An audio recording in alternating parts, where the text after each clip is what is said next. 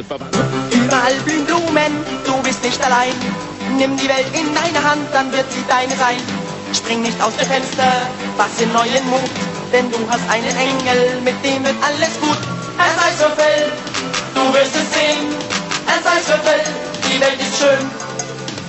Ernst Eiswürfel will aus dem Fenster springen. Millionen Fernsehzuschauer kennen dafür die Gründe. Eine nicht enden wollende Pechsträhne in Liebesangelegenheiten, Unzufriedenheit mit dem äußeren Erscheinungsbild und eine negative Erfolgsbilanz auch im Berufsleben sind für Ernst Anlass genug, selbst an seinem bisher so hilfreichen Schutzengel zu zweifeln. Aber noch einmal schöpft der sympathische Jugendliche durch die unverhoffte Rückkehr seines geliebten Vaters Hoffnung, dass sich nun doch alles zum Guten wendet. Seht ihr, Kinderchen, ich hab's schon immer gewusst, dass er irgendwann mal was auf die Beine stellt, euer Party. Nicht, Schatzi? Ich will aber nicht umziehen. Alle meine Freunde wohnen hier. Ach, und du, Ernst? Ich habe ja keine Freunde. Siehst du, Luzi, Ernst will auch. Ist mir doch egal. Aber warum muss es denn schon morgen sein? Ja, weil Papa dann Laster hat. Und wie soll ich in der kurzen Zeit meine ganze Lego-Burg abbauen?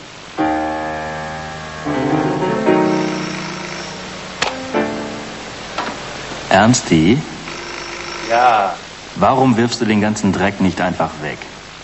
meine ganzen schönen Kindheitserinnerungen. Ernst, du bist 28. Andere Männer in deinem Alter haben einen eigenen Golfplatz und du spielst mit Lego.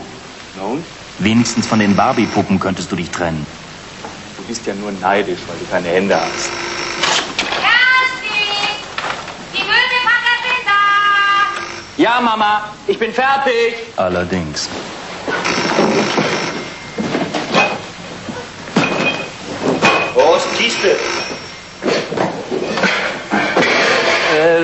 Vorsichtig. Sonnenbrillen retten, Anzug retten, alles andere ist unwichtig. Na gut.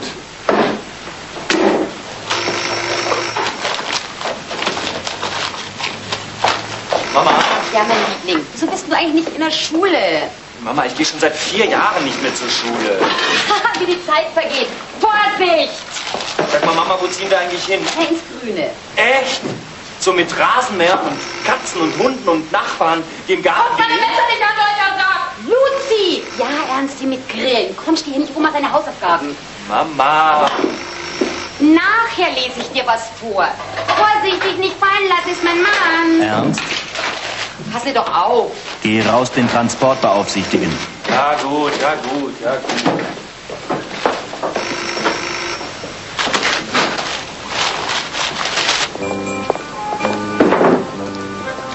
Hey, guck mal. Ich im Schullandheim. Die da, die habe ich gemocht. Wegen der bin ich damals über diesen Balken balanciert, über dem Fluss. Das tut mir leid. Ja, alle haben gelacht. Damals hat es angefangen. Nein, Schnullerbacke, liegen lassen. Wie? Die Zeit der Niederlagen ist vorbei. Du bist jetzt erwachsen. Ab heute wird alles anders. Klingt gut. Habe ich aber schon mal von dir gehört. Sieh mal da drüben. Wie?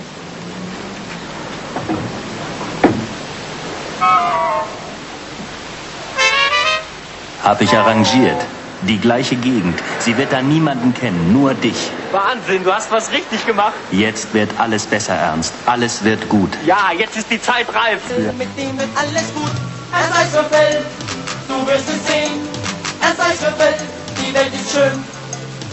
Ernst Eiswürfel will aus dem Fenster springen. Eine Katastrophe für Millionen von Fernsehzuschauern.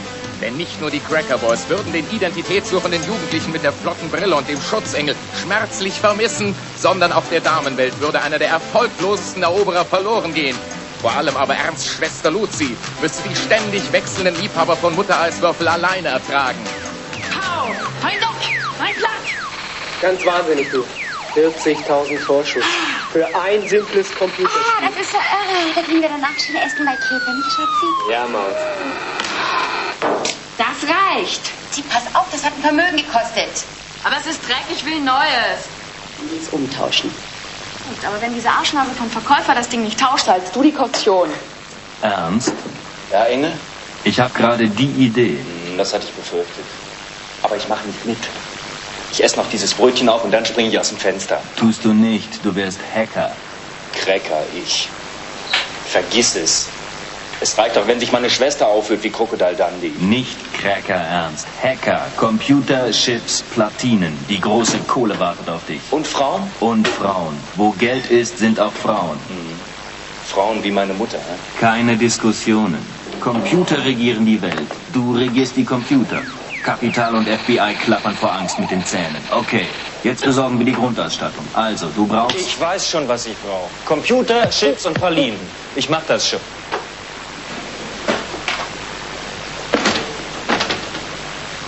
Hi, Schnullerle. Hast du Computer da? Für was hältst du das Zeug hier? Ah, genau. Jetzt pass auf, Baby.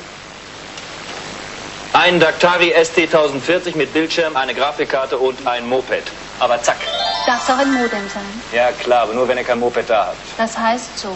Ach so. Naja, weißt du, meine Jokes versteht man nicht gleich. Muss man mich besser kennen. Wie wär's denn, wenn wir beide, du und ich... Kann ich sonst noch etwas für dich tun? Ja, etwas zum Häkeln.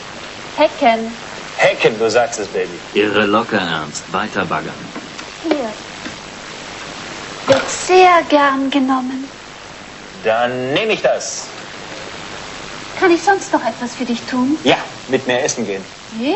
Na, muss ja nicht heute Abend sein. Erst die Kohle, dann die Tut Frauen. mir leid. Dieses Jahr habe ich schon was vor. Guter Witz. Okay, ich rufe dich an. Das sind dann genau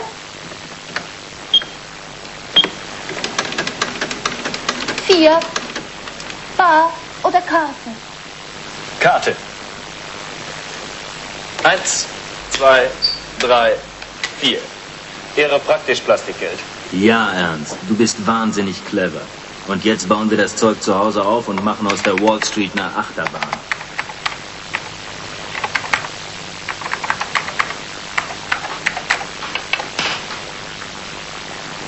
Ich hab's, Engel, ich hab's.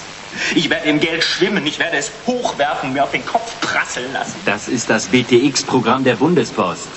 Das findet der Säugling schon in der Krabbelphase. Ich meine, da kannst du Kochrezepte nachlesen oder die Lottozahlen vom letzten Jahr. Aber Jetzt nicht gut. doch, doch, ganz toll.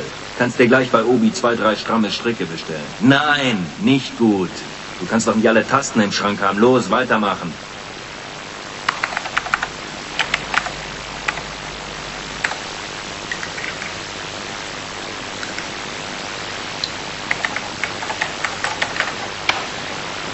Oh, aber jetzt. Auf Japan. Schau dir dieses Konto an. Erste Sahne, Ernst. Das buchst du jetzt auf dein Konto um. Genau. Zu den 50 Mark von der Konfirmation. Ernst? Ich wollte nur gucken, ob du aus dem Fenster gesprungen bist. Ich könnte ein zweites Zimmer gebrauchen. Dann halt nicht.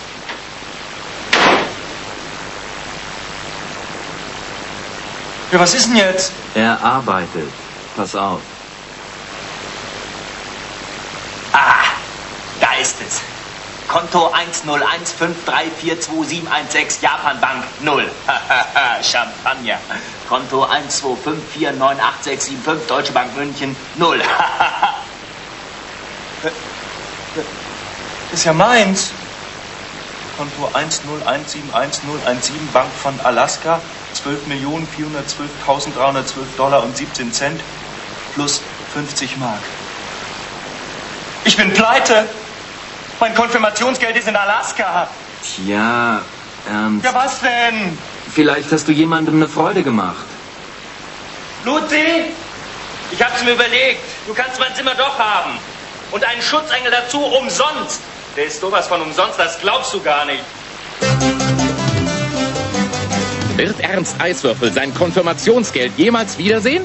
Wird er seinen Schutzengel wirklich in Luzis mörderische Hände geben? Und wenn, was wird sein Schutzengel davon halten? Kann sich Ernst überhaupt von ihm trennen? Und wenn ja, wie soll dann... Ernst Eiswürfel, du wirst es sehen.